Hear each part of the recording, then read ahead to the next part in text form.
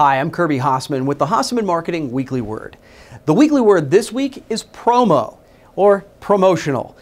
This week was Promotional Products Work Week for all of us in this industry. It's a fantastic event uh, nationwide that's been sponsored by ASI and PPAI, which are uh, industry organizations. The entire purpose of this week is for us as an industry to sort of band together and to communicate to you how powerful and how effective uh, the promotional products industry can be to promote your business.